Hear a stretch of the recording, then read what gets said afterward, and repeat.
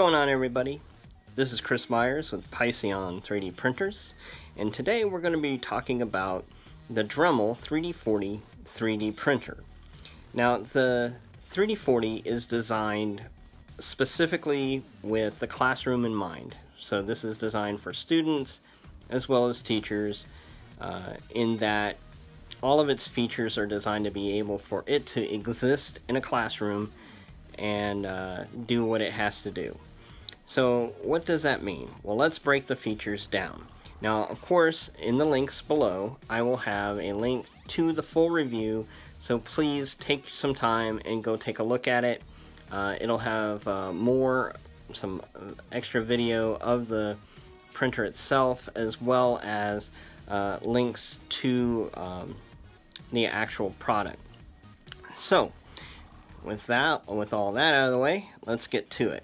So on this, the features that are probably going to be uh, really important to people to know is for skill level set, this is beginners. You know, this is a novice level 3D printer. Now, does novice mean less quality?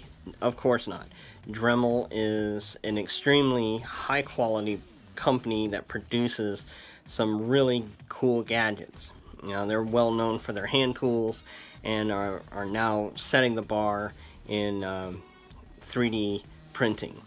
So they're out of the box, up and running within 10 minutes. I mean, it is literally a plug and play. You put the filament in, you load it up, and boom, you're ready to go. Uh, it, it comes with just PLA filament, so that's uh, one thing that makes it very simple. Uh, it also has a uh, semi-automatic adjusting uh, system to get it to level out, and uh, it's really easy. Uh, it has a pretty good size touch screen, so if you uh, can work a smartphone, you can work this thing. It also one of the really cool features, one of the really things I like about this is that you can uh, print from the cloud. So uh, you can you can make adjustments and whatever you have to do while not even being there. You don't have to be on the network. You can be at home. You can be across the you know the ocean. Whatever you can you can just print from wherever you want. And um, and and then of course you can monitor you know it, uh, how much is left in the in your filament spool, etc., etc.